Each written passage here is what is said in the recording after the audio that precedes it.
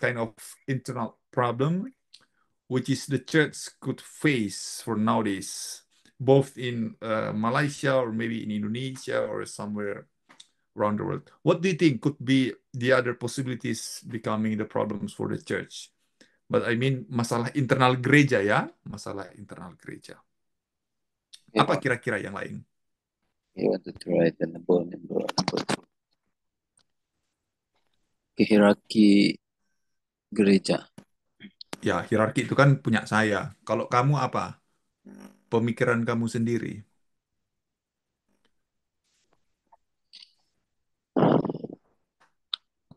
Di hierarki gereja ini bicara tentang uh, leader dalam gereja itu organisasi begitu ya. Ya, eh, itu betul, itu benar. I mean, kan di sini ada empat, ada empat masalah internal gereja. Oke. Eh, saya minta kamu coba tambahkan masalah-masalah lain apa yang ada di dalam gereja selain yang empat yang sudah saya tulis ini. Sebentar ya. Ya, dipikir-pikir. Saya akan kembali lagi ya. Ibu Rangai, apa masalah lain di dalam gereja? Uh, okay. Tapi uh, maybe this one macam not too open lah dokter. Uh, for me Ya, is okay. uh, is a dosa yang terang-terangan uh, yang terjadi di Oh, antara orang percaya, but Mhm. is uh, like uh, uh, the member of church ataupun the leader of the church just ignore ignore it. So oke. maybe the person kan, uh, the person doing the sin, uh, they are still a leader of the church. Uh, so Oh, oke, yeah, oke, is oke. is it really happen? Uh, for me, is uh, is the one of the internal uh, issues in in the church lah. So Oke, oke. uh, another one is uh, dominasi Sebentar, inside the sebentar Ibu. Rangai. Yeah. Sebentar, sebentar Ibu Rangai. Sebelum yang kedua, eh, ada contoh, contoh yang contoh eh, yang reality di gereja masalah seperti itu. Tidak bo- tidak usah sebutkan namanya, Iya, hanya iya, iya ada. kasusnya. Ya, Seperti apa case-nya? kasusnya uh, seperti ini real uh, happen lah Ya. in my church. Bukan yang sekarang, uh, they ada Hmm. di my uh, hometown. Hmm. Jadi uh, it's like macam this is a penatua gereja. Uh, penatua gereja uh, punya anak, anaknya uh, berselingkuh ataupun uh, selain berselingkuh ada juga anak-anaknya yang uh, uh, di luar perkawinan di luar uh, uh, nikah. Awak maksudnya macam mana tuh Ya, yang ya, ya. ya Hmm. before uh, not the really marriage punya yang uh, they just do in the church get the bless uh, but uh, it's not the proper like macam suppose it's not I cannot do in the in the church. But because if uh, because dia penatua dia minta izin kepada pastor and then the pastor is uh uh and then the pastor like uh allow it to just to the bless this uh couple lah. And then uh, for other people yang memang they are strict with this they know the rules so uh, they're not happy uh so uh like a two two two team lah satu satu. And then the penatua say it's not ini bukan dosa saya itu dosa anak-anak saya. Kenapa saya harus uh, meletak jawatan sebagai penatua uh, they have the at my hometown dia ada satu macam uh, once your anak-anak tidak uh, in the good manner so you need to step down. But this penatua refuse to step down. And then and then uh, like us yang know the rules and know the protocol so you need to confess yourself first then only you uh they give you time to think and then get uh, uh get uh pengampunan. Then you only come back to the uh, your what is your uh pelayanan lah begitulah dokter so it's uh not only that time so many things lah but it's you can see is real, but nobody uh, berani untuk say is wrong. Ah, so this is internal because they are too senior, and then they also know how how to manipulate others. So when the new generation, uh, they cannot say anything. So like us lah, we cannot say, oh you need to step down, you need to you correct things, but they have their own mind. Jadi we just keep quiet like that. Ya, terus terima kasih Ibu Rangai. Yang kedua apa? Masalah yang kedua? Tadi kan baru yang pertama. Uh, ya, uh, masalah tentang uh, perpecahan lah di dalam uh, di dalam gereja itself. Mungkin disebabkan uh, uh, mungkin denominasi yang berbeza dan Hmm. memiliki pendapat yang berbeza. Uh, contohnya, uh, mungkin uh, saya ambil contoh seperti saya. Saya bekerja di AFGF. Sebelum ini saya adalah di SIB.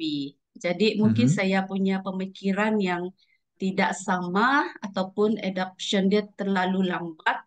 Jadi uh, proses ada internal uh, issue juga lah akan ada ter- internal issue regarding the uh, the method, the way they are served, uh, the policy, whatever mission uh, vision before they really betul-betul uh, akan adopt the new uh, new uh, uh, visi atau misi gereja yang uh, baru. So it's like uh, change of uh, thinking lah ataupun uh, exception penerimaan seseorang uh, jemaat Ah, itu sendiri. Itu saja. Ya, terima kasih, terima kasih Ibu Ranggai eh, untuk masukannya ya, untuk eh, tambahannya tadi. Wah, itu benar sekali. Eh, silakan yang berikut. Balik lagi ke Pak Demaksli.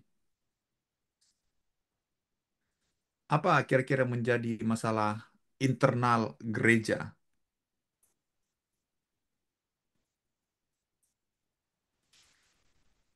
Pak Demaksli?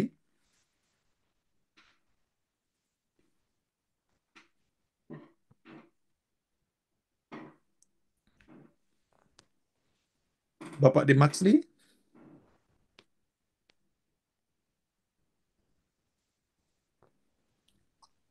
Oke. Ya, apa yang menjadi masalah internal gereja? Oke, eh, satu di teaching atau doktrin dalam gereja. Doktrin dalam gereja kadang-kadang itu Doktrin ya, oke. ya, ya, kadang-kadang di dalam gereja itu berbeza-beza pemahaman tentang doktrin. Oh, oke, oke. Misalkan ada orang yang di salah satu contoh lah ya, Ya, ya. orang ini mempercayai tentang the gift of Holy Spirit, karunia-karunia, Mhm. Ada sebagian itu yang seperti tidak mempercayai, bahkan menolak seperti itu. Nah ini aku melihat ada satu perbezaan pemahaman, mungkin juga dari Hmm. segi pengalaman dengan Roh Kudus itu juga berbeza. Jadi ini Ya. menjadi satu isu yang agak, ya kita mengerti lah itu ya Pak ya. Ya, ya, ya. Kemudian yang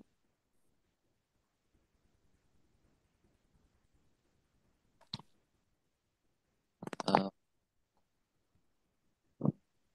dalam leader, di dalam grup kepimpinan, kadang-kadangnya ada pemimpin itu yang dia mau kita ikut apa yang dia mau saja begitu. Pokoknya aku punya cadangan, aku punya Otoriter mungkin ya, ya ya, otoriter tahu? Ya, ya. otoriter. Ya. Pokoknya apa yang aku mau kamu harus ikut seperti itu. Nah ini juga boleh menjadi masalah di dalam sebuah gereja karena sebahagian yang lain itu tidak mungkin tidak menyetujui dan tidak sependapat orang tersebut. Oke, aku rasa doa itu cukup ya Pak ya. Ya, wah bagus sekali Pak Demaksli. Tidak usah malu-malu, itu gagasannya sangat brilian ya, sangat eh, sangat bagus, sangat baik. Terima kasih. Ah, yang lain lagi, Eh, Pastor Rozi, apa yang menjadi masalah internal gereja?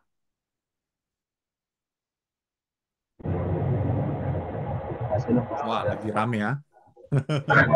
Ya pas dari sementara saya tidak boleh pakai sebab saya adalah kereta lepas untuk pergi ke penginapan. Oh, oke, oke. Sorry, sorry. Kemudian eh, Pastor Sriono ini sama-sama dari Jawa kita. Jangan bikin malu ya, Pak Pendeta. Apa kira-kira yang menjadi masalah internal gereja? Bisa berdasarkan pengalaman, bisa juga eh, berdasarkan hasil bacaan. Kalau tadi kan Ibu Ranggai dia bilang eh, kalau ada pimpinan yang buat salah itu yang sudah terang-terangan itu eh, tidak tidak diurus sebagaimana mestinya. Kemudian tadi Pak Dimax juga bicara mengenai perbedaan-perbedaan teologis antara sesama anggota jemaat. Kalau Pak Pendeta Siriono ada pandangan lain, apa yang menjadi masalah internal gereja?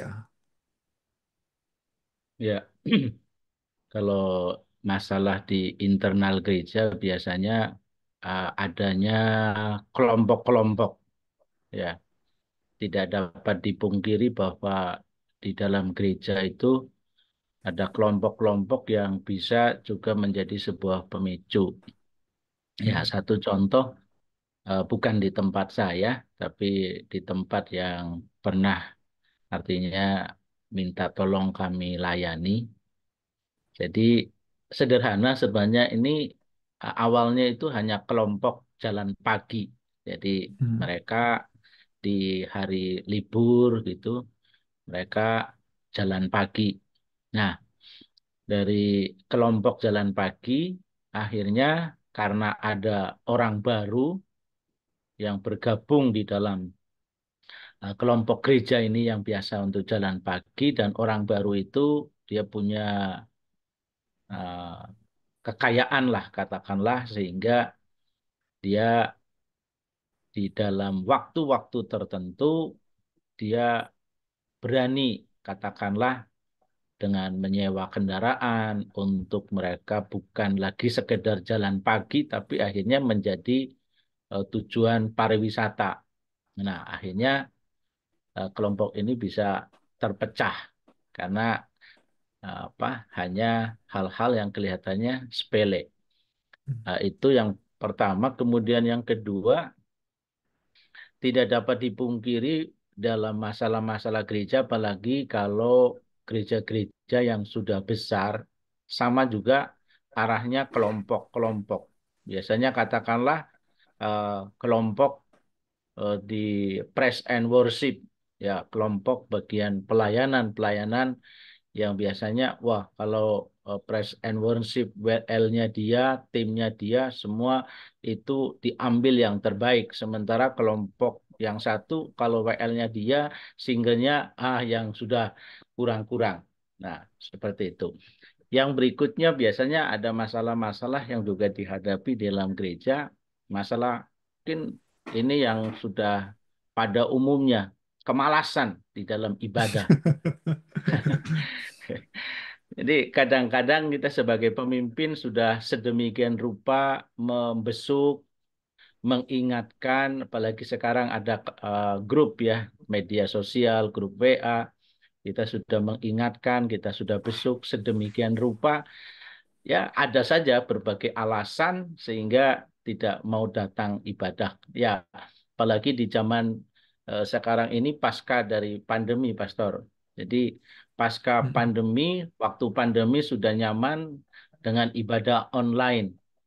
Ya, uh, sekarang setelah sudah diberi kesempatan dulu pada waktu masih ibadah online selalu berkata merindukan bisa beribadah secara onsite.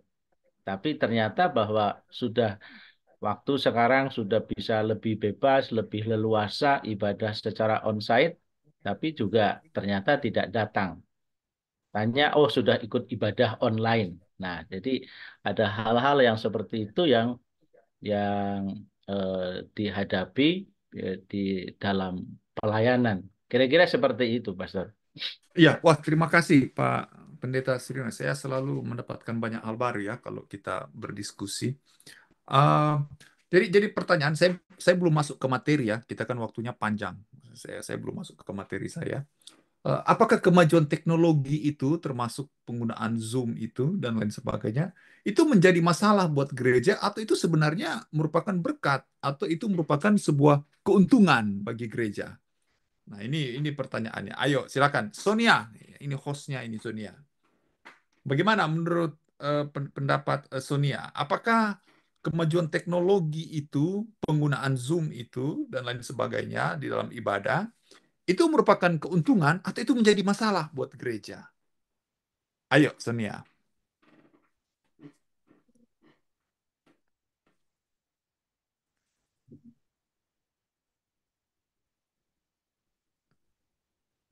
Tadi udah kepencet unmute, tapi ke mute lagi. Dipencet lagi, Sonia. Masih mute itu, Sonia.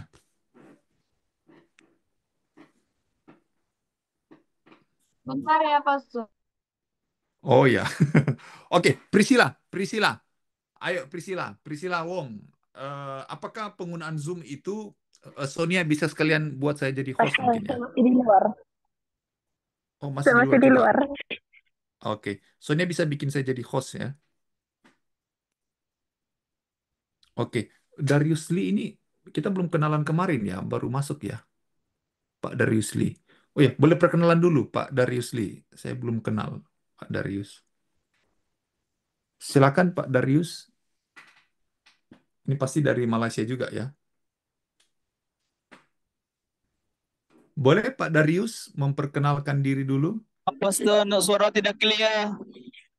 Oh, apa tadi bilang masih Di masih di jalan. jalan juga ya? Oh ya, nanti kalau sudah tiba, nanti memperkenalkan diri ya. Ah, boleh Pak.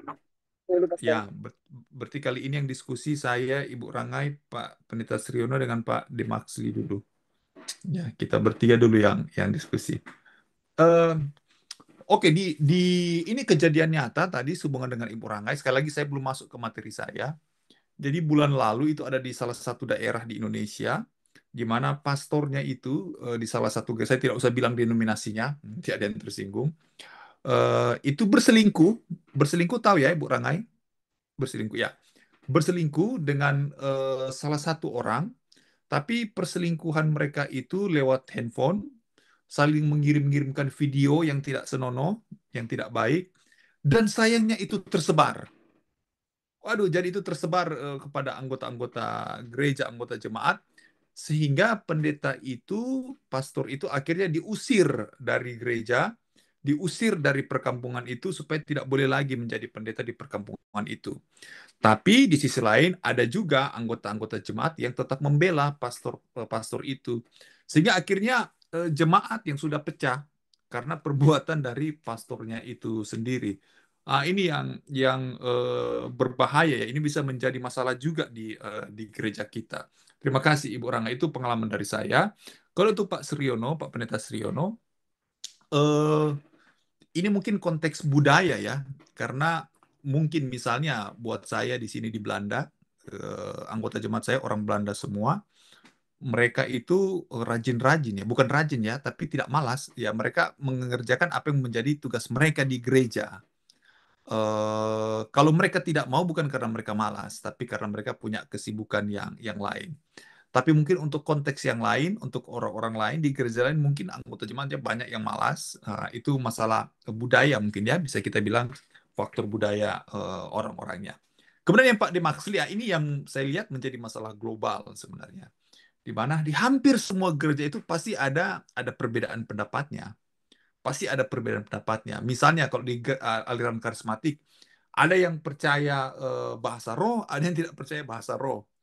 Kemudian kalau di gereja-gereja yang uh, aliran ekumenikal, ada yang percaya sekarang kan lagi tren uh, Kristen progresif. Saya tidak tahu kalau sudah sering dengar ini istilah Kristen progresif. Ada yang mendukung Kristen progresif, ada juga yang tidak mendukung Kristen progresif. Jadi perbedaan teologi ini ini menjadi persoalan juga di gereja, khususnya di gereja-gereja yang eh, anggota jemaatnya akademiknya sudah tinggi ataupun tidak, anggota jemaat yang akademiknya masih masih rendah. Tapi ini perdebatan selalu ada di mana-mana. Kalau bagi saya, bagi saya persoalan internal gereja itu yang pertama, nanti Bapak Ibu kita diskusi ya. Yang pertama itu adalah persoalan ketokohan dan figur pendeta atau pimpinan gereja. Mengapa saya bilangkan figur? Ini kalau di gereja karismatik, karena kan kita banyak di sini aliran latar belakangnya karismatik ya. Di gereja karismatik itu, seorang pendeta itu kalau dia sudah disenangi oleh jemaat, maka maunya pendeta itu terus yang bicara, maunya pendeta terus yang khotbah, dan jangan diganti-ganti pendetanya. Jadi misalnya Pak Pendeta Sriono nih sudah terkenal di Bogor atau di Kebumen. Wah, anggota jemaatnya sudah sampai ratusan, bahkan ribuan, sudah banyak.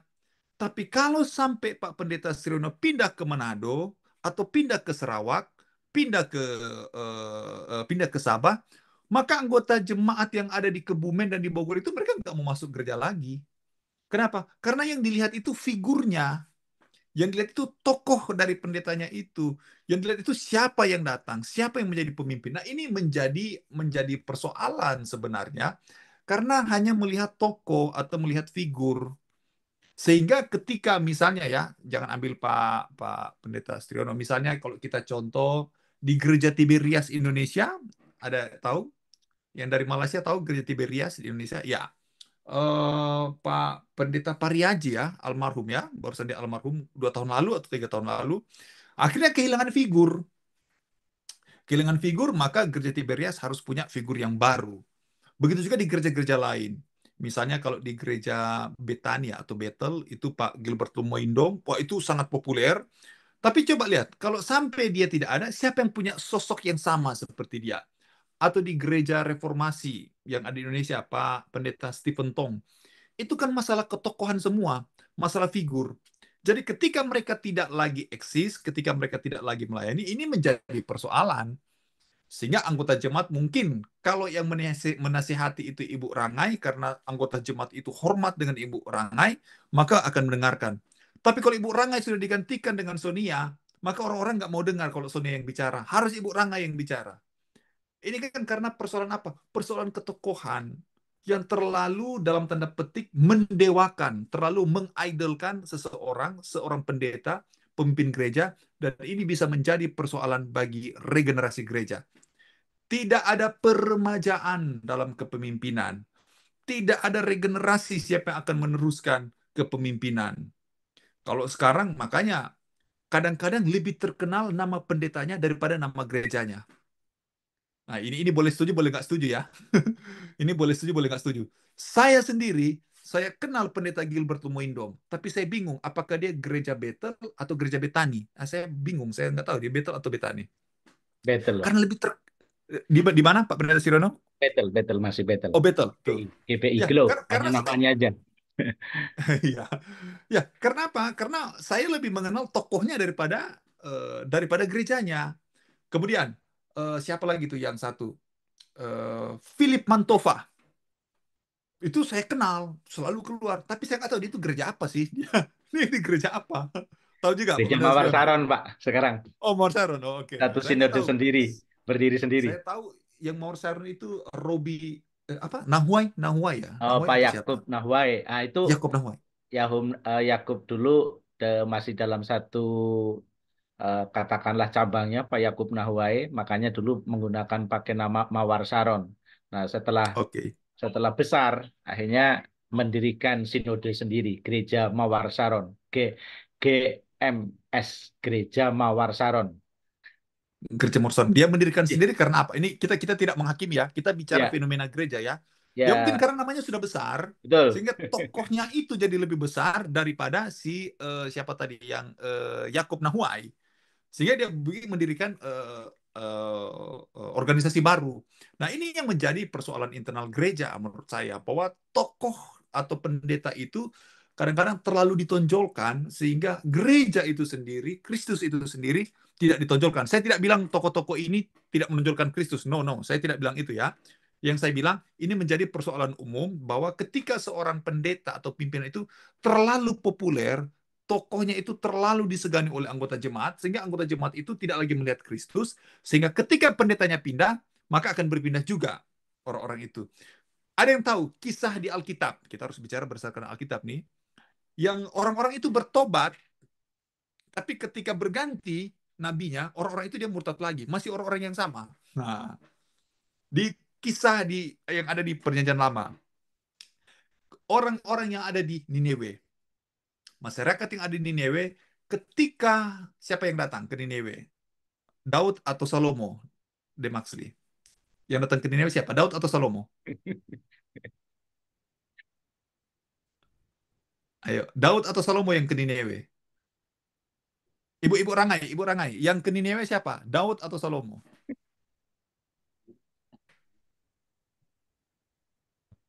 Tinggal tinggal dipilih kan. Pak Pendeta Rossi, siapa yang pergi ke kota Nineveh? Raja Daud atau Raja Salomo? Yunus ya. Oke, berarti walaupun lagi perjalanan tetap konsentrasi. Jadi Yunus. Pada waktu Yunus pergi ke Nineveh, dia kan eh, bernubuat di sana, kemudian eh, orang-orang akhirnya orang-orang Nineveh bahkan sampai raja pun mereka berpuasa dan akhirnya mereka semua bertobat. 100 tahun kemudian setelah Nabi Yunus mengadakan penginjilan di sana, bukan penginjilan, eh, membawakan nubuatan di sana, orang-orang yang sama yang bertobat di kota Nineveh, 100 tahun kemudian ketika berganti nabinya bukan lagi Nabi Yunus, tapi sudah Nabi Nahum, maka orang-orang yang sama ini mereka pun ber, kembali menjadi murtad, berbuat dosa di mata Tuhan. Kalau sekarang jangan Ibu Rangai bilang, oh 100 tahun kan sudah mati semua. Ya, kalau kita sekarang 100 tahun sudah mati semua. Tapi orang zaman dulu kan umurnya panjang. Jadi itu masih orang-orang yang sama. Menurut catatan Alkitab, itu masih orang-orang yang sama. Dan mereka yang dulu bertobat di zamannya Yunus, mungkin mereka lihat Yunus punya karisma.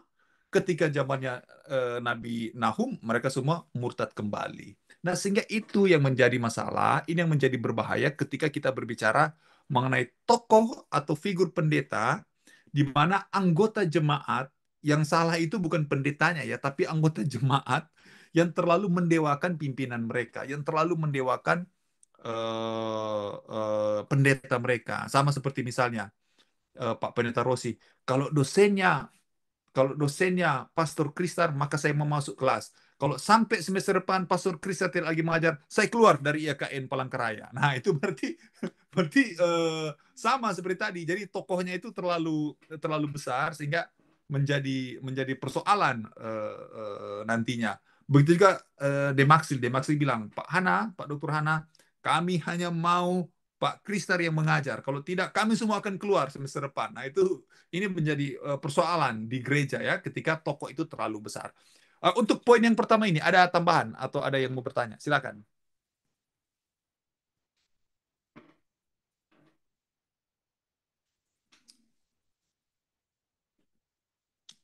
Baik, kalau tidak ada, kita yang kedua ya. Nanti boleh balik lagi kalau ada yang mau bertanya. Persoalan kedua yaitu adalah masalah hierarki gereja. Hierarki gereja dalam pengertian saya di sini adalah misalnya contoh ya sekali lagi karena kita datang dari latar belakang tradisi gereja yang berbeda-beda.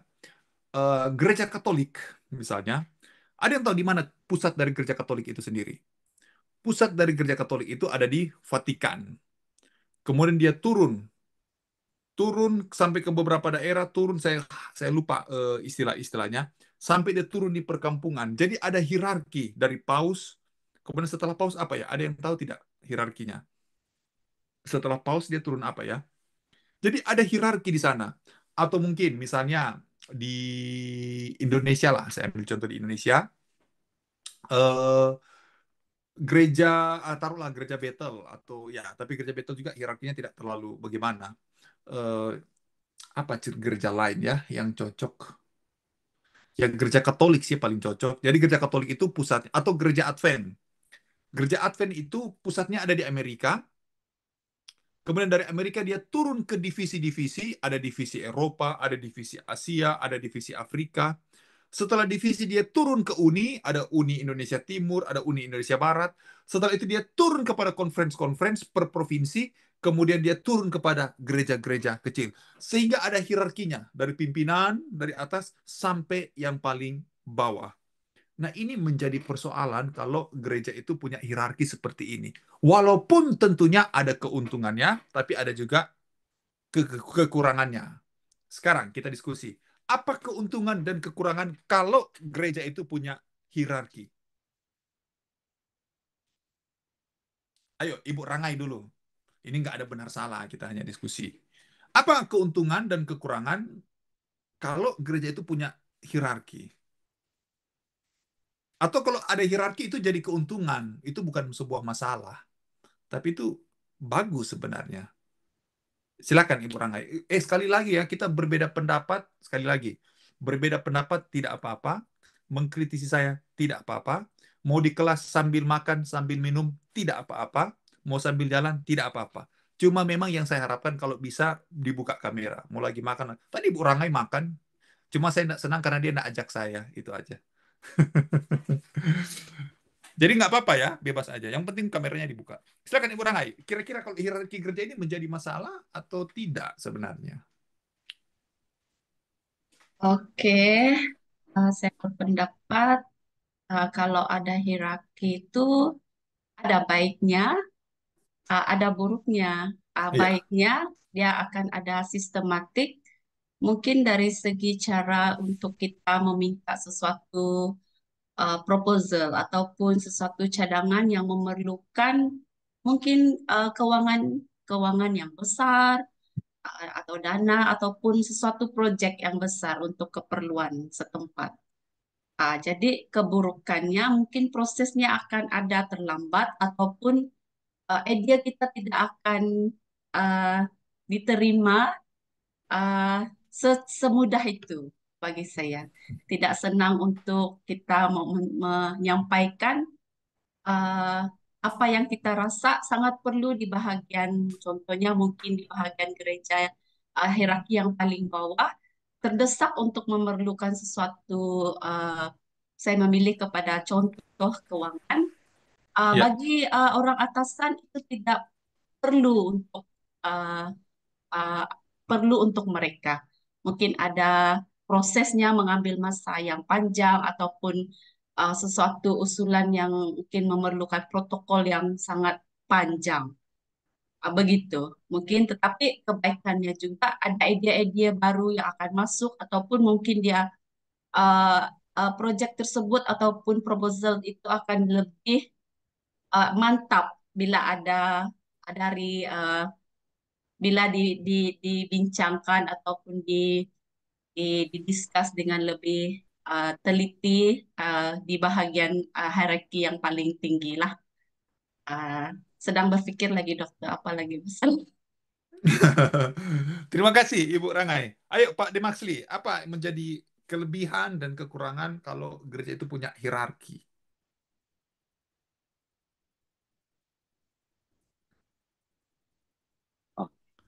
Ya, Yang pertama mungkin sama seperti yang kurang Bukan mungkin tapi sama. Hmm. itu jika ada hierarki kan itu kita memiliki penaung.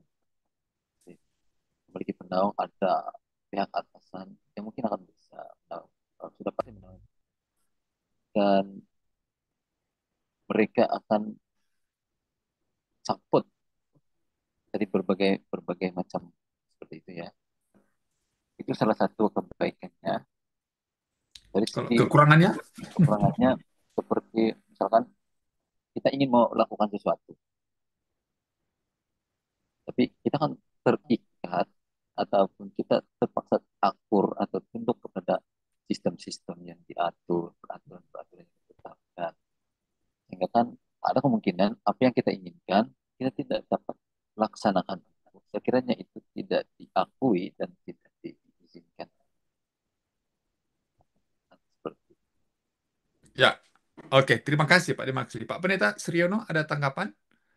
Apa yang menjadi kelebihan dan kekurangan kalau gereja itu punya hierarki? Atau nggak ada kelebihannya, yang ada kekurangannya? Atau nggak ada kekurangan, ada kelebihan semua? Ya, unmute dulu, Pak Pendeta. Ya. Iya, pasti ada kekurangan dan kelebihan. Eh, kelebihannya kalau gereja berhierarki seperti kayak Katolik itu itu cukup satu komando. Ketika Paus berkata Hmm. A, semua turun ke bawah A. Ya. Itu Artinya apa yang disampaikan oleh Paus semua ya eh, semua me- menerima. Jadi Ya. dengan adanya seperti itu. Tetapi eh, kalau eh, apa gereja yang berhierarki ya bukan katakanlah katakanlah bukan gereja Katolik. Kita kalau berbicara antar gereja-gereja lokal saja. Kalau Ya. katakanlah eh, saya di gereja Gerakan Pentakosta yang di mana eh, bukan sistem istilahnya gembala bisa cepat mengambil keputusan ya untuk hal-hal yang artinya tertentu. Berbeda katakanlah dengan gereja yang mesti eh, GPIB ya GPIB eh, pendeta tidak bisa mengambil keputusan secara cepat mesti harus eh, apa rapat dulu katakanlah. Hanya hanya untuk eh, katakanlah mengutus seseorang untuk hadir di dalam eh, rapat eh, undangan katakanlah dari eh, hadir untuk kegiatan gereja yang bersifat aras katakanlah persekutuan gereja-gereja sekota. Nah, untuk mereka bisa hadir saja, mereka harus rapat. Atau katakanlah kita mau pinjam tempat saja.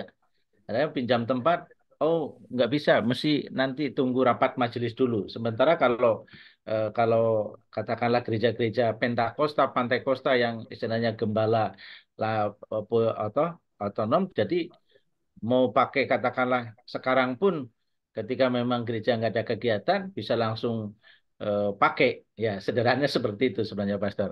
Jadi kalau yang berhierarki ah, segalanya mesti dirapatkan dulu harus di ini ah itu. Tapi kalau yang tidak artinya bisa dengan cepat eh, untuk mengambil keputusan. Kira-kira begitu Pastor. Oke, terima kasih Pak Pendeta Sriono. Iya, eh, memang tidak semua gereja ya yang punya sistem hierarki itu sendiri. Ada gereja-gereja itu sifatnya sangat lokal, ataupun kalau dia punya hierarki, tapi eh, tiap-tiap gereja lokal itu diberikan keleluasaan sebenarnya untuk mengambil keputusan. Ada juga yang tidak diberikan keleluasaan untuk mengambil keputusan. Memang yang menjadi masalah saya tidak akan bicara keuntungan karena ini kan kita konteksnya bicara permasalahan gereja dari eh, dari dalam. Tapi apakah ada keuntungan? Tentunya keuntungannya ada. Tadi misalnya Pak Pendeta Siruni bilang itu satu komando. Kemudian kalau Ibu Rangai bilang itu ada support. Pak, eh, Pak Dimaksi juga bilang ya ada support itu kalau ada kendala itu ada support, ada eh, ada support dari pimpinan tentunya. Tapi yang jadi persoalan adalah ketika tadi saya setuju ya, kebetulan saya setuju dengan Ibu Rangai, ketika ada misalnya berhubungan dengan masalah keuangan, kemudian dibutuhkan keputusan yang cepat untuk diambil, tapi karena ada birokrasi di sana, maka ini menjadi persoalan. Sehingga para pendeta, jemaat lokal itu tidak bisa mengambil keputusan yang cepat untuk menyelamatkan gereja. Nah, ini kan akan menjadi masalah. Harus ditelepon pimpinan, pimpinan ke pimpinan lebih atas lagi, pimpinan ke paling di atas. Wah, ini jadi eh, jadi persoalan tentunya, tentunya. Kemudian yang kedua, masalah kedua, kalau gereja itu punya hierarki adalah memang benar tadi yang Pak Pendeta Sirono bilang bahwa kalau di komando dari atas semuanya itu turun sampai ke bawah. Iya. Tapi gereja itu kadang-kadang lupa bahwa setiap gereja itu khususnya gereja lokal, apalagi kita di Indonesia ataupun di Malaysia, itu gerejanya sangat beragam. Gereja itu sangat beragam. Sehingga misalnya dibuat misi atau dibuat satu tema atau apa pun itu dari pusat, pakainya juga sudah bahasa Inggris. Tema juga tema bahasa bahasa Inggris. Misalnya ini hanya contoh ya, hanya contoh. Misalnya eh, temanya adalah tema LGBT. Jadi gereja menentang LGBT dari pusat. Ya di Indonesia kan itu belum isu yang sangat kencang. Kalau di Malaysia apalagi kan eh, negara Islam itu eh, itu bukan isu karena kalau ada orang LGBT itu pasti langsung kena hukuman dari pemerintah. Tapi mungkin untuk gereja-gereja di Eropa, di Amerika itu menjadi isu. Ketika gereja dari pusat itu dari Amerika, pusatnya mengatakan gereja melawan kemiskinan. Lah, kalau di Indonesia, ya itu adalah isu kemiskinan. Tapi di Eropa kan tidak ada orang Kristen yang miskin. Nah, ini menjadi masalah karena ada hierarki gereja ini. Sehingga ketika sebuah keputusan diambil dari pusat, maka kadang-kadang itu tidak apply untuk jemaat-jemaat lokal. Dia tidak apply untuk anggota-anggota jemaat tertentu. Sehingga itu sebabnya kalau saat ini di dunia gereja itu ada dua secara organisasi. Yang satu mengambil sistem hierarki, yang kedua dia mengambil sistem yang non hierarki. Misalnya gereja-gereja di Belanda, gereja-gereja Protestan di Belanda itu tidak ada hierarkinya. Jadi satu gereja satu sinode. Tapi ini ada persoalan lain. Jadi tidak ada hierarki juga ada masalah lain. Misalnya, mengapa misionari yang saya tidak tahu ya kalau di Malaysia itu misionari dari mana yang datang? Ibu Ibu Rangai dari mana misionari di uh, Malaysia? Apakah dari Belanda dan Jerman juga? Kristen itu masuk ke Malaysia lewat mana ya? Di Sabah dan Sarawak. Tahu informasinya? British. Oh, dari Inggris. Oh, oke. Okay. Berarti beda. Itu Anglikan berarti mereka ya. Kerja Anglikan dan Puritan. Oke, okay. kalau di Indonesia itu yang masuk adalah Belanda dan Jerman tentunya. Nah, kenapa kegiatan misi ini tidak berlangsung dengan uh, tidak berlangsung secara konsisten? Karena ketika gereja-gereja di Belanda mengirim misionari ke Indonesia ataupun di Jerman, itu kan gereja-gereja lokal yang mengirim. Jadi tidak ada support dari gereja-gereja lain karena mereka jalannya sendiri-sendiri. Jadi kalau misalnya Pak Pendeta Suryono mau ambil uh, master atau doktor di uh, sekolah-sekolah teologi terkenal yang swasta yang ada di uh, Belanda, itu kampus-kampusnya itu di bawah gereja. Satu sinode itu hanya satu gereja, bukan perkumpulan GKI atau Betani atau Betel kan punya uh, seminari sendiri kan, sekolah tinggi teologi Betel atau di Semarang ada sekolah tinggi teologi Baptis. Tidak seperti itu. Itu sebabnya mereka kan bahasanya begini ya kalau kamu mau lari kencang, lari sendiri. Kalau kamu mau lari lama, lari lari bersama-sama. Eh, kalau kamu berjalan cepat, berjalan sendiri. Kalau kamu berjalan lama, berjalan bersama-sama. Ibu orangnya bisa dapat ini bahasa bahasa Indonesia-nya. Artinya bisa mengerti ya. Jadi kalau dia sendiri ya dia tidak bisa lama, dia tidak tidak uh, konsisten. Sedangkan kalau dia gereja itu ada hierarkinya, ya keuntungannya ya tadi ada support dari atas. Gereja Katolik tetap mengirimkan terus misionerinya. Tapi gereja Belanda wah sekarang udah kesulitan karena mereka sifatnya berjalan sendiri-sendiri. Nah, ini yang menjadi persoalan gereja ketika itu dia punya hierarki ataupun dia tidak punya hierarki. Nah, sampai di sini sebelum kita masuk ke poin yang ketiga, ada tambahan atau ada pertanyaan? Silakan. Ada? Baik, kalau tidak ada, kita lanjut ya. Yang ketiga, nah ini yang yang rame nih politik praktis. Ini saya tidak tahu ya kalau di gereja-gereja, tapi menurut sependek pengalaman saya, setiap gereja pasti punya persoalan ini, masalah. Apa maksudnya persoalan politik praktis? Politik praktis maksud saya di sini adalah gereja yang berpolitik secara internal, kita bicara internal ya, misalnya pemilihan ketua sinode atau pemilihan ketua gereja. Ini ngeri. Ini main politik ini. Bagaimana Ibu Rangai? Di gereja Ibu Rangai ada nggak uh, politik praktis seperti ini? Kalau sudah ada pemilihan ketua gereja, uh, ketua sinode tahu istilah ketua sinode? Ya, ketua sinode apakah ada permainan-permainan berpolitik supaya saya jadi ketua, Ibu Rangai nggak boleh jadi ketua. Ada, bagaimana? Ya, Coba. so far dokter tidak nampaklah sebab uh, yang saya pernah ikut melihat sebab Ya. siapa yang hadir di sana itulah yang dilantik. Oh. Ya, wajib hadir dan mau melantikkan diri harus hadir. Jadi Oh, oke. uh, politik di gereja mungkin saya tidak sangat terjerumus kepada politik uh, di Oke, gereja, bukan terlalu dalam lah sebab tidak full time kan pastor jadi uh, biasa-biasa saja. Jadi tidak pernah nampak hal politik so far lah so far Ya, no. tetap menjaga diri bersih ya dari politik. Iya. Kalau berpolitik di luar malahan boleh, jangan berpolitik di dalam. Kalau Ibu Rangai mau, oh tapi beda ya di Malaysia. Kalau Pak Pendeta Suryono mau jadi calon eh, legislatif, nah itu saya dukung. Tapi kalau mau politiknya di dalam, eh, jangan. Ini menurut saya ya, kita bisa berbeda pendapat. Nggak apa-apa, beda pendapat. Pak Demaksli, silakan. Ada tanggapan. Bagaimana politik? Ada nggak di gereja Pak Demaksli? Politik-politik itu, kalau mau suka jadi pemimpin, eh, ketua sinode, itu diatur politiknya supaya saya terpilih.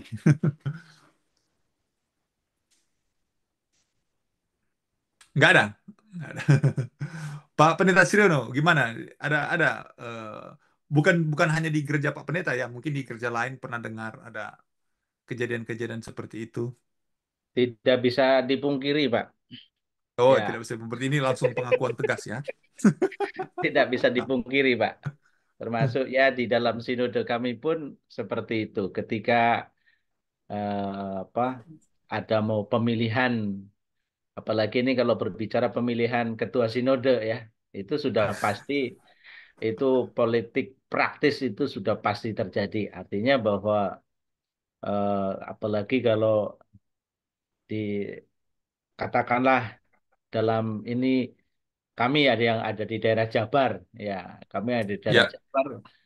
Pasti ketika kami dari daerah Jabar mencalonkan eh, si A ya pasti bagaimana kami mempengaruhi orang lain untuk Ya. bisa mendukung.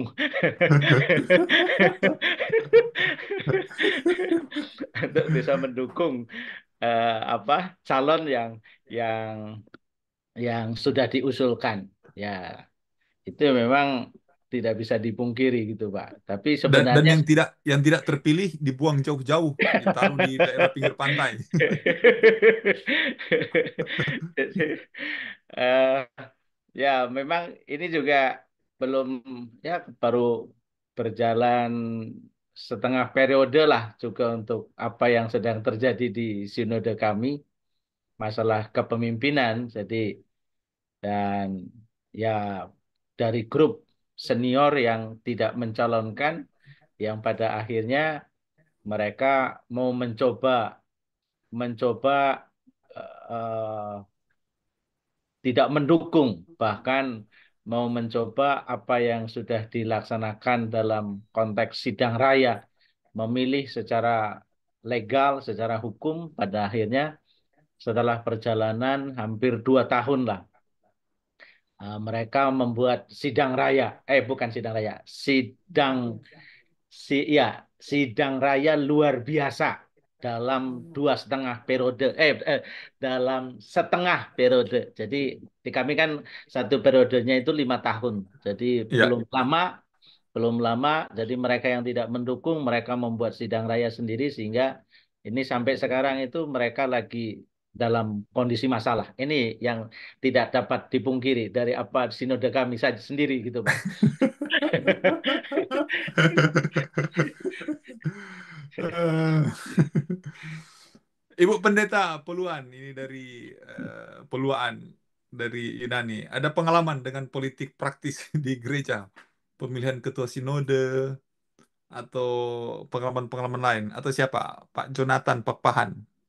Kalau ada pengalaman sehubungan dengan politik praktis ini. Ya, iya. Kalau pengalaman itu apa namanya politik praktis internal gereja, saya kira di mana-mana ada ya. Di mana sama ya dengan Pak Sriono ya. Eh, satu dengan yang lain belum semua ya istilah hamba-hamba Tuhan belum semua seorang hamba. Jadi eh, ketika seseorang dipercayakan untuk memimpin dan yang lainnya sebenarnya mau ada di posisi itu ya berbagai cara dilakukan. Nah kemudian ketika datang pada satu kompetisi semacam pemilihan apakah itu eh, pimpinan sinode ataupun wilayah termasuk juga di kegiatan-kegiatan eh, yang eh, kecil tim kerja atau kepanitiaan itu biasa terjadi. Dan Oke. ya memang mana nah muncullah politik di dalam eh, dan bukan, eh, sebagian kelompok orang yang paling tidak mirip cara pemikiran, pemahaman dan lain sebagainya dan itulah cara-cara yang dipakai bagi saya itu hal yang lumrah ya di mana-mana itu ada kira-kira seperti itu. Terima Iya, kasih. terima kasih Ibu Pendeta. Ya saya saya pribadi tidak tidak mendukung ya kalau ada politik praktis eh, di gereja. Tapi kalau Bapak Ibu punya pendapat lain, bilang, ah nggak apa-apa politik praktis dalam gereja, ya itu urusan eh, urusan masing-masing ya. Eh, Sekali lagi Iya. kita tidak harus sependapat untuk eh, untuk hal itu. Tunggu saya tanya dulu. Ini eh, mahasiswa IAKN Palangkaraya semua ya atau ada dari kampus lain? Ya, I- Ini ini kampusnya saya saya malah bingung karena saya ngajar di beberapa tempat. Ini kelas apa? IAKN Palangkaraya atau kampus yang STTJ eh, Manado? Eh, ini eh, mana hostnya? Ini STTBJ eh, apa MOU dengan STT Ikat Jakarta. Itu yang saya tahu. Oh, oke. Jadi ini oh, bu- oh, bukan malah bukan Palangkaraya. Oh, saya bilang-bilang Palangkaraya ternyata salah. Eh, Apa? ini apa? STT Bukan. Ikat dengan Iya. S- STTBJ eh, bekerja sama MOU dengan STT Ikat Jakarta STT Ikat Ya. saya tahu. STTBJ yang di mana tuh? Yang yang Manado itu? di Langwan itu. Oh, Langwan. Oh, oke. Oke, biar saya nggak salah. Saya. Karena gini, gini. Dulu waktu saya kuliah, waktu saya ambil S2, itu dosen sudah bilang, kamu kalau pulang, pulang dari eh, setelah selesai S2. Ini yang S2 saya yang di Thailand ya. Kamu jangan ter- jangan sok jagoan pas pulang ke Indonesia. Karena kamu pasti akan dianggap sebuah ancaman untuk pimpinan-pimpinan berikut. Sehingga kamu jangan kasih tunjuk kalau kamu itu jagoan punya, katanya gitu. Jadi yang saya mau bilang buat Bapak Ibu di sini, begitu selesai S2, khususnya yang S2 nih, eh, jangan terlalu dinampakkan itu Pak Pendeta Sriono. Nanti bilang ah ini Pak Pendeta Sriono bahaya nih sudah S2 nih. Ini calon calon ketua sinode ini atau Ibu Pendeta Poluan nih aduh udah dari Yunani sudah ada pengalaman kuliahnya bagus. Wah itu jadi jadi ancaman semua. Sehingga eh, jangan terlalu kasih tunjuk jago katanya ya kata itu kata eh, kata kata dosen saya terus sekarang banyak yang eh, bercanda dengan saya pulanglah Indonesia jadi pendeta Indonesia Ya, kalian suruh-suruh pulang begitu sampai di Indonesia langsung diinjak saya karena dianggap ancaman kan nanti nanti saya jadi ketua sinode yang berikutnya. Ya, jadi ini menjadi masalah ya, menjadi masalah dalam gereja bahwa eh, politik praktis itu memang tidak bisa dielakkan. Ya, terserahlah pilihan Bapak Ibu semua apakah akan masuk ke situ atau tidak itu bukan bukan hak saya. Yang pasti di mata kuliah ini bahwa politik praktis dalam gereja itu ada. Dan ini menjadi masalah buat gereja. Apalagi ini saya kasih pengalaman eh, sebelum pemilihan bayangkan Bapak Ibu sebelum pemilihan ketua sinode itu orang-orang sudah punya draftnya. Ketuanya siapa sekretarisnya siapa bendaharanya siapa. Tapi ada pemilihnya panitia pemilihnya ada ada tapi sudah ada draftnya jadi ini hanya seperti menjalankan formalitas jadi pokoknya begitu selesai pemilihan tidak akan meleset dari draft yang mereka punya. Wah ngeri banget nih udah kalah kita. Makanya kan ada ada bercandaan seorang pendeta orang Korea, dia di Amerika dia bilang begini. eh, pemilihan umum tapi dia berbicara konteks, dia bicara konteks gereja ya. Pemilihan itu kalau pemilihan di Afrika setelah election, setelah pemilihan maka butuh waktu tiga hari hasilnya akan diketahui siapa yang terpilih menjadi pimpinan.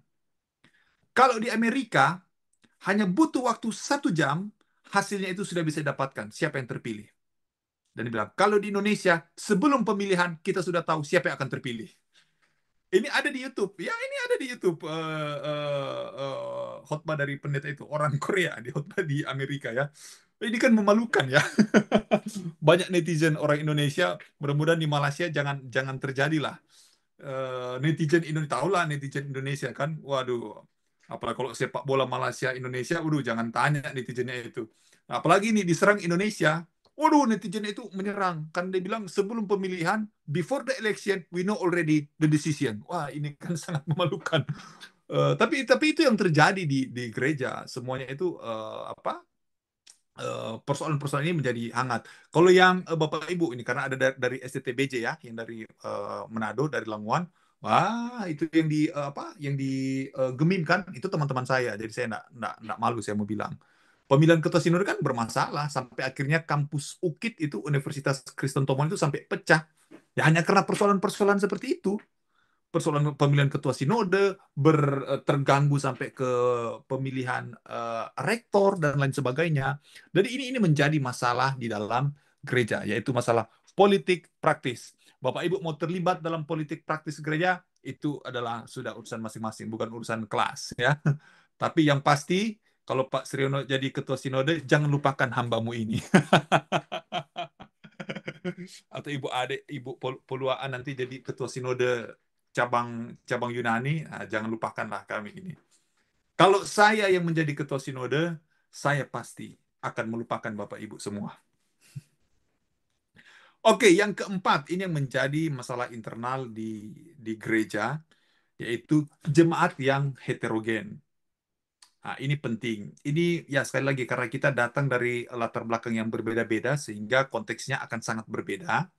Misalnya saya tidak yakin kalau ini terjadi di uh, Sarawak ataupun di Sabah karena suku bangsa yang ada di Sarawak dan Sabah itu suku Dayak juga kan ya kalau saya tidak salah apa benar ya? Ya, jadi Dayak ya. Ya, sedangkan kalau di Eropa itu eh, di Amerika lah itu sudah jadi persoalan juga. Tapi di Amerika sudah sangat terkotak-kotak. Maksud saya begini, Eh, gereja-gereja Amerika itu sudah ada black church orang-orang kulit hitam mereka bekerja sendiri white church orang-orang kulit putih bekerja sendiri Indonesian Church mereka sudah punya kelompok Indonesia sendiri. Tagalog Church gereja orang-orang Filipina mereka sudah berjemaat sendiri. Tapi kalau dalam konteks di Indonesia ini persoalan. Mengapa? Misalnya kalau di Minahasa yang dari STTBJ ini dari di ini di Minahasa nih. Walaupun sama-sama Minahasa tapi kan di Minahasa ada sembilan sub etnik orang Languannya beda, orang Ratahannya beda, orang Tondanonya beda, orang Air Madinya beda, ini beda-beda. Punya karakter yang berbeda juga walaupun tidak tajam perbedaannya. Apalagi misalnya Pak Sriono dari Jawa masuk ke Indonesia atau masuk ke Languan. Wah, makannya aja udah beda kan? Yang satu suka makan gudeg, satu suka makan BBRW. Ah, ini kan sudah berbeda. ini jadi eh, dalam hal-hal tertentu ini menjadi persoalan karena persoalan budaya. Misalnya saya pernah di, di sini di Belanda sini, saya kan lima gereja saya menjadi gembala di lima gereja. Empat gereja ini adalah gereja orang Belanda dan berbahasa Belanda. Satu gereja itu adalah gereja uh, orang Indonesia, komunitas orang Indonesia. Waduh, bendahara saya orang Batak. Ketua jemaat saya orang Minahasa Kemudian sekretaris saya orang Belanda. Kemudian bagian apa itu uh, departemen apa dia uh, orang Jawa. Kan orang Batak tahu kan ngomongnya, dia tidak marah. Tapi karena dia ngomong tegas dan keras, wah orang Jawanya sakit hati. orang Jawanya sakit hati. Ya karena orang keuangan kan harus begitu. Karena kalau orang keuangan itu tidak tegas dan keras ya repot. Jadi, eh, tapi ini karena perbedaan budaya itu jemaat yang heterogen, bukan jemaat yang homogen homogen itu satu jemaatnya sama semua. Tapi kalau jemaatnya heterogen, ah ini yang menjadi persoalan gereja secara internal. Ketua jemaatnya orang Minahasa. Orang Minahasa suka bercandanya, bikin jokesnya kadang kelewatan. Tersinggunglah orang Belanda yang tidak tahu jokes. Karena orang Belanda ini kan nggak nggak ada santai-santainya hidup mereka. Terlalu tegang. Tersinggung dia. Karena jokesnya sudah berlebihan. Padahal kalau buat orang Manado ya biasa saja kan itu kalau buat jokes-jokes seperti itu kan. Kemudian orang Belanda, kalau mulai rapat itu kalau bilang jam 9, jam 9 teng dia udah mulai. Maka datanglah orang Indonesia. Bilangnya jam 9, datangnya jam 10. Jam 9 balas WA on the way, OTW. Padahal OTW-nya baru mau mandi. Wah ini kan akhirnya marah-marah orang Belanda kan. Kita sudah janjian jam 9, kenapa kalian datang jam 10? Nah, ini jadi persoalan. Kenapa? Karena anggota jemaat yang punya latar belakang yang berbeda-beda. Atau misalnya ada anggota jemaat yang tidak berpendidikan, sekolahnya hanya elementary school, hanya sampai sekolah dasar. Kemudian ada anggota jemaat lain yang pendidikannya sudah master dari STT IKAT, dari STTBJ, sudah master dari Belanda. Aduh, kalau orang nggak sekolah kan bicaranya kan apa yang dia mau bicara dia pasti bicara. Atau sebaliknya, kalau yang bicara itu orang berpendidikan, orang educated, dia sudah bicara pakai bahasa di awan-awan kalau seperti Indonesia seperti bahasanya Pak Anies Baswedan. Oh bahasanya sudah tinggi, sudah nggak ngerti kasihan yang orang yang nggak sekolah, yang hanya jualan di market, hanya jualan di pasar. Ini kan jadi persoalan dalam gereja. Komunikasinya tidak lancar, perbedaan status sosialnya yang sangat jauh, perbedaan pendidikannya yang sangat jauh, perbedaan budayanya yang sangat berbeda. Pak Pendeta Sriononya orang Jawa, tapi karena anggotanya semuanya orang Languan, mereka bawa BBRW yang pedas sekali, nggak bisa makan kasihan Pak Pendeta Sriononya. Atau anggota jemaatnya Pak Pendeta Sriono, saya yang pendetanya, saya pastornya, Pak Pendeta Sriono bawanya makanannya gudeg. Waduh, saya nggak bisa makan gudeg walaupun lahir di Jogja. Lebih enak makan RW atau babi putar. Nah, ini kan menjadi masalah kan? Ini masalah kecil, tapi pada hal-hal tertentu ini menjadi masalah yang besar di gereja. Ketika ada perbedaan yang sangat curam antara sesama anggota jemaat. Mengapa? Karena anggota jemaat, anggota gereja yang heterogen, yang berbeda satu dengan yang lainnya. Baik, saya selesai untuk yang ini, untuk uh, masalah internal gereja. Ada yang mau bertanya atau ada yang mau menambahkan? Silakan. Kalau nggak ada saya kasih tugas ini. Kemarin hanya lima orang yang kumpul. Eh, Ibu pendeta, puluhan. Iya. Eh, jadi saya mau lanjut sedikit ya. Kalau kalau pengalaman saya baru-baru mengalami ya experience di sini di Yunani karena pas saya ada di sini saya diberi tugas ganda sebagai ketua panitia untuk acara KKR dari Australia kemudian eh, yang satunya ketua panitia untuk pelaksanaan, pelaksanaan perayaan Natal yang baru saja lewat. Sebetulnya ada tiga tugas ya untuk um, pelantikan dan ketabiskan gereja karena gereja ketabiskan. Nah, eh, yang terjadi kemarin itu eh, gimana ya mau dikatakan ketika saya diberi tanggung jawab karena apa yang uh, Pak Dokter sampaikan, uh, semua jemaat itu yang datang dari berbagai latar belakang, satu suku uh, dan lain sebagainya ya. Nah awal awal saya tiba di sini, saya orangnya suka suka bercanda ya, tahu kalau orang menarik. suka sekali bercanda karena pas tiba di di gereja itu banyak orang lawan. Nah, ada satu saat selesai ibadah saya ajak foto bersama. Saya bilang mana yang orang-orang Languan mari orang berfoto sama ya. Ternyata itu ada sekelompok orang yang udah mulai merasa uh, risih dengan kita foto-foto bersama. Nah sebagai ketua ini menjadi satu polemik ya karena memang baru baru ini baru terjadi ini dan ya cukup signifikan boleh dikata. Ya. Kemudian pada saat masuk di uh, pembuatan rencana-rencana untuk uh, kegiatan pelaksanaan, mulai bilang ah cuma orang Languan, cuma orang Languan. Nah itu jadi persoalan.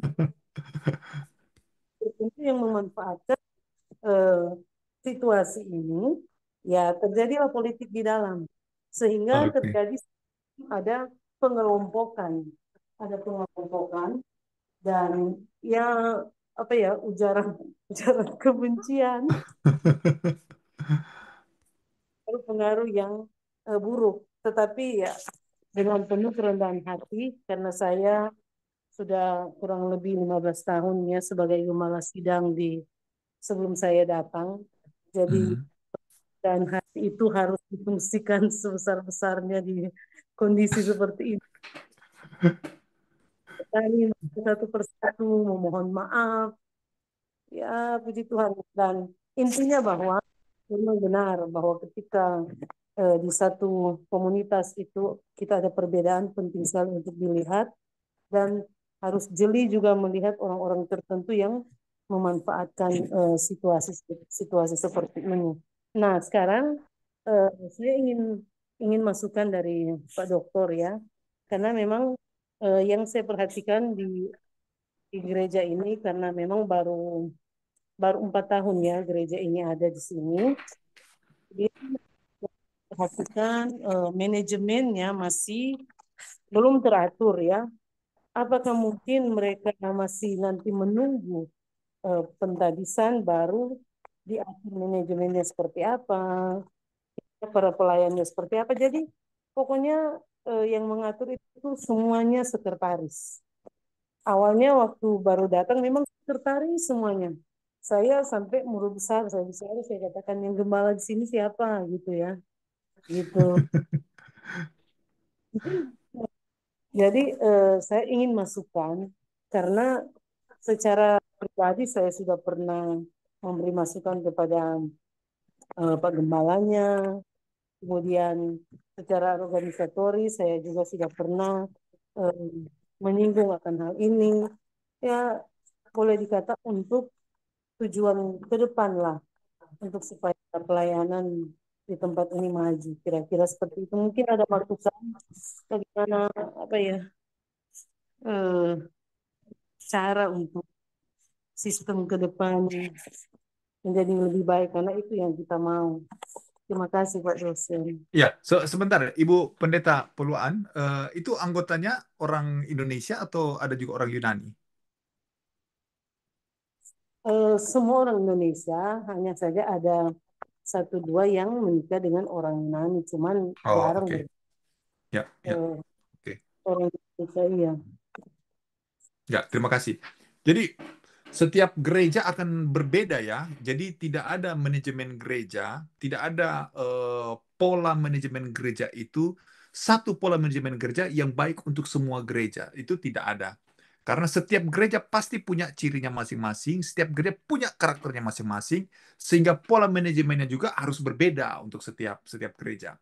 Tapi begini, misalnya, saya ambil contoh eh, untuk saya di sini pelayanan tadi saya sampaikan saya menge- meng- mengembalakan lima jemaat, lima gereja. Satu gereja ini gereja Indonesia, kemudian empat ini gereja orang Belanda, memang benar-benar orang orang Belanda semua. Eh, kalau di gereja Belanda, di gereja Belanda, saya itu sebagai pendeta seperti tidak berfungsi dalam tanda petik. tidak berfungsi dalam arti apa? Karena setiap anggota jemaat itu eh, penatuanya, bendaharanya, sekretarisnya, diakonianya, mereka sudah berjalan, sudah mengikuti apa yang sudah menjadi aturan. Jadi benar-benar sebagai seorang pendeta saya hanya datang berkhutbah, kemudian kalau ada pelayanan perjamuan atau kalau ada pelayanan baptisan, baru saya akan berfungsi di sana.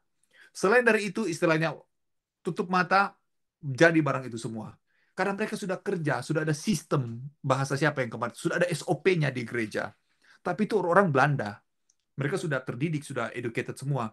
Bahkan pendeta itu, kalau teman-teman kolega-kolega saya yang orang Belanda, eh, pendeta itu mereka datang hanya pas di jam khotbah. Karena kalau bukan jam khotbah mereka nggak mau datang. Mereka anggap itu pekerjaan ya.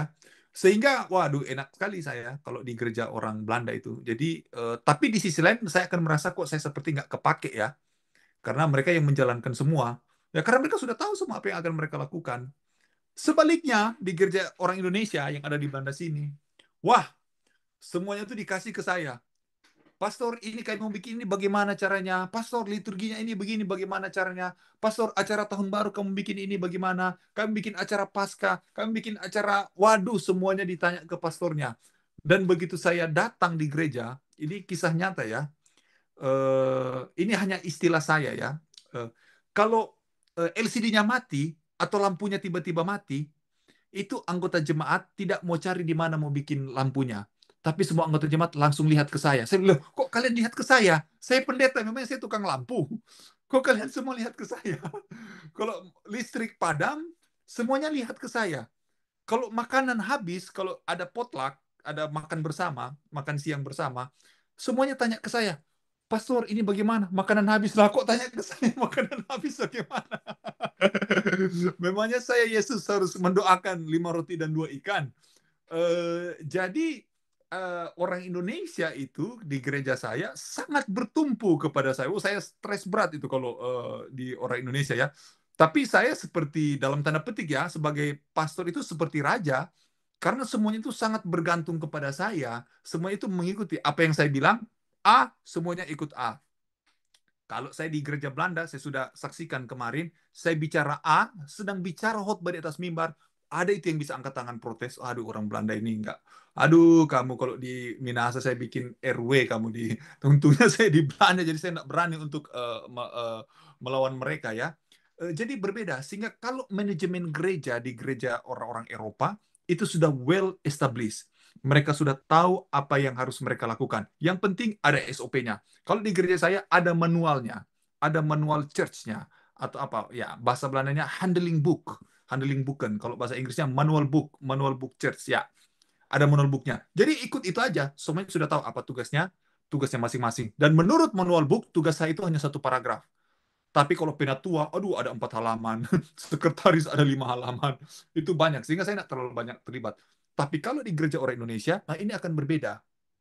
Ini akan berbeda. Pasti semuanya akan bertumpu kepada pendeta atau anggota jemaat orang Indonesia ataupun itu orang Asia akan bertumpu pada salah satu anggota kalaupun bukan pendeta, misalnya dalam kasusnya Ibu pendeta peluaan itu kepada sekretarisnya. Kalau memang orang itu sangat dominan ya dia sangat dominan, dia bisa mengerjakan semua. Akhirnya semua orang itu bergantungnya pada dia semua. Semuanya oh ya dikit-dikit ke dia, dia lagi, dia lagi ya.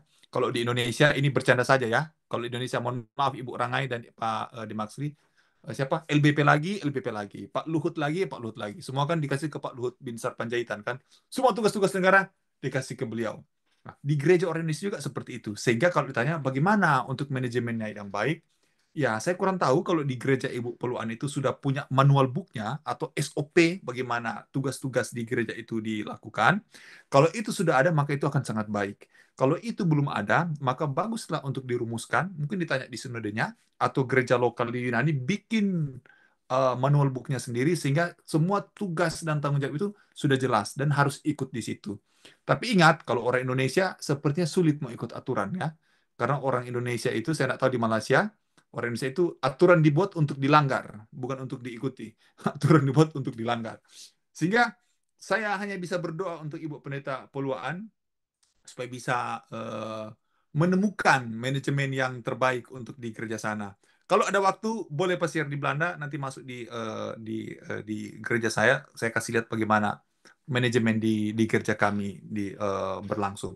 Saya termasuk orang-orang uh, Kristen yang uh, apa? Bukan Kristen progresif ya, orang Kristen yang terbuka. Saya terbuka untuk untuk uh, sharing, terbuka untuk bergaul. Bahkan teman-teman akrab saya itu dari Muslim. Makanya saya dengan Pak Hana itu sepertinya uh, nyambung. Karena kan saya kuliah di uh, Universitas Nadatul Ulama juga, saya ambil doktor. Di kampus Hindu juga kan saya ambil doktor Hindu, sehingga uh, saya yang sesama yang yang tidak percaya Kristus aja saya bisa dekat, apalagi yang kita sama-sama percaya Kristus. Ya, janganlah kita saling mengkafir-kafirkan sesama Kristen ya. Jadi kita terbuka. Nanti boleh pasiar Ibu uh, Pendeta Puluhan kalau ada waktu ke Belanda. Kalau tidak datang saya akan ke sana. Yang penting saya disiapkan bebek languan. Uh, Oke, okay. ada yang lain sebelum uh, kita masih ada satu. Bagaimana Ibu Pendeta? Ini cuma baku sedu. Mar kalau making serius juga boleh. Ada bebek, ada bebek di sini. Oh ada, ada. Okay. Sama, orang juga ada di Belanda. Oke. Okay. Okay, uh, eh, yang berikutnya, tapi ini saya akan uh, sampaikan nanti di kelas berikut di minggu depan, yaitu tantangan dari luar gereja. Kalau tadi kan dari internal gereja, berikutnya dari luar gereja. Tapi saya kasih tugas lagi nih, supaya aktif kita uh, di kelas ya. Uh, ya saya menghargai ya, tiap orang itu punya kesibukannya masing-masing. Tapi seandainya memang kalau tidak sibuk, uh, kita bisa uh, interaksi uh, dan bisa buka kamera juga supaya lebih baik. Nggak apa-apa tutup kamera, tapi ada nyahut-nyahutnya sedikit ya, seperti Ibu Peluaan atau seperti uh, Pak Demaxli, kadang mati, kadang tutup. Mungkin ada pacarnya itu di belakang, makanya kalau pacarnya lewat dikasih mati, kasih off dulu kameranya. Oke, okay. uh, nanti tugasnya coba uh, tulislah dalam 500 kata juga. 500 kata itu paling satu halaman. Kira-kira apa yang menjadi tantangan dari luar masalah gereja yang datangnya dari luar. Ya. Jadi satu halaman, apa yang menjadi tantangan gereja dari, dari luar? Kemudian di pertemuan berikut, ya satu orang lima menit lah, coba dipresentasikan. Kalau bisa bikin powerpoint lebih bagus. Ya, jadi jelas ya. Jadi dibuat apa yang menjadi masalah gereja dari luar. Dituliskan satu halaman. Dituliskan satu halaman, kemudian nanti dipresentasikan satu orang lima menit lah lima menit. Kalau mau lebih ya nggak apa-apa. Tapi paling tidak lima menit itu kan satu halaman kan lima menit dijelaskan kan sudah sudah oke. Okay. Saya nggak minta karena ini masih level S1, S2, saya nggak minta harus tulis seperti karya ilmiah ya. Ada tuntutan nggak karya ilmiah di kelas ini? Di mata kuliah lain? Nggak ada, belum ada. Oke. Sudah sudah familiar dengan istilah artikel jurnal?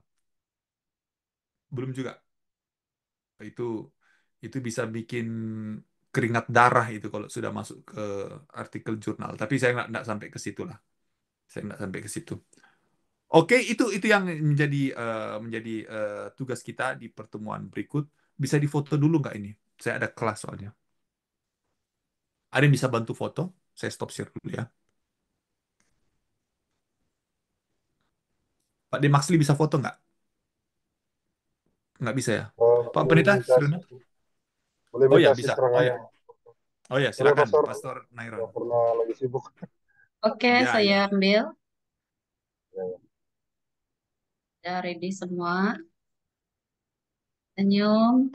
Satu, dua, tiga. Oke. Lagi. Satu, dua, tiga. Oke. Ya. Kirim di grup ya, Ibu Ranga ya. Ya, ya. Ya. Ya. Oke. Selamat malam Pastor, semuanya. mau- boleh boleh tanya, Pastor, itu